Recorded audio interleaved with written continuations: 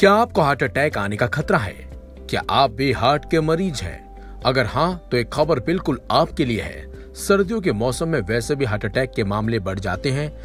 ऐसे में इससे निपटने के लिए अब राम नाम की संजीवनी बूटी तैयार हो चुकी है, जो न सिर्फ़ आपकी जान बचाएगी, बल्कि हार्ट अटैक के इस खतरे से आपको दूर रखेगी। जी हाँ हम सही कह रहे हैं, क्योंकि दावा किया जा रहा है कि कानपुर के L P S cardiology hospital Uttar Pradesh के सबसे बड़े हार्ट अस्पताल की तरफ़ से, जहाँ के डॉक्टर नीरज कुमार ने एक ये पहल की है। उन्होंने मात्र सात रुपए में एक राम किट तैयार की है।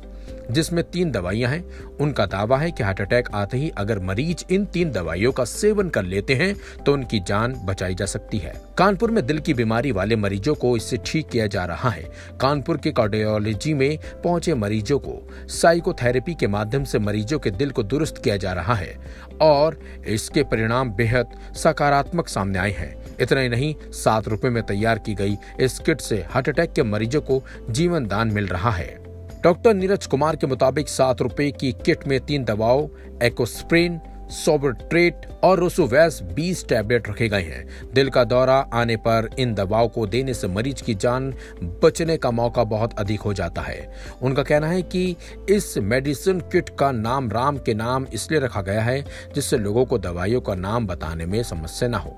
डॉक्टर नीरज कुमार ने बताया है कि दूसरी वजह यह है कि राम नाम में सभी की आस्था है, जो लोगों में एक भरोसा भी बांधती है। इसलिए हमने इसे राम किट का नाम दिया है। Doctor Neeraj Kumar, LPS cardiology अस्पताल के मरीजों को दबाव के साथ ही साइकोथेरेपी का उपचार भी दे रहे हैं।